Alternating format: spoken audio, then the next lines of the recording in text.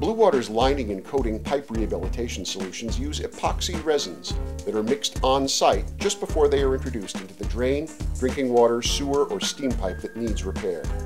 What you're seeing here is our technicians mixing and applying the blue epoxy for a structural drain lining.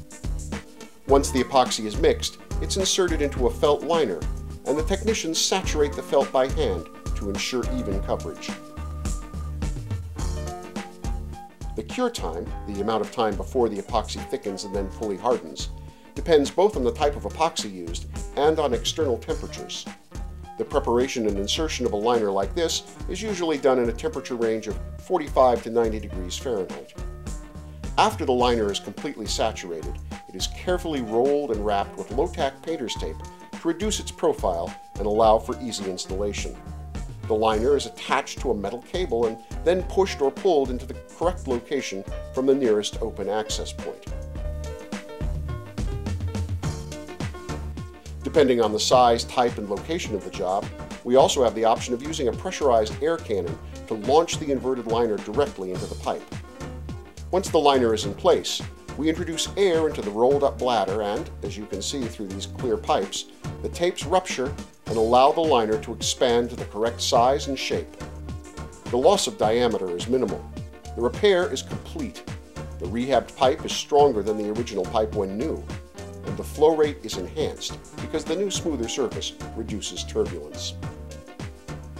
This is a demonstration of the application of our red epoxy coating for potable water pipes, which meets NSF 61 standards for drinking water compatibility and is approved by the Massachusetts State Plumbing Board for all potable water delivery pipes. This epoxy can be used either on its own or with a liner.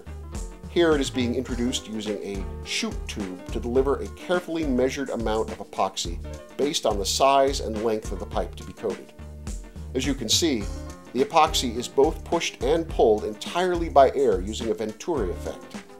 The coating travels along the walls of the pipe only, building on itself to create a perfectly smooth coating.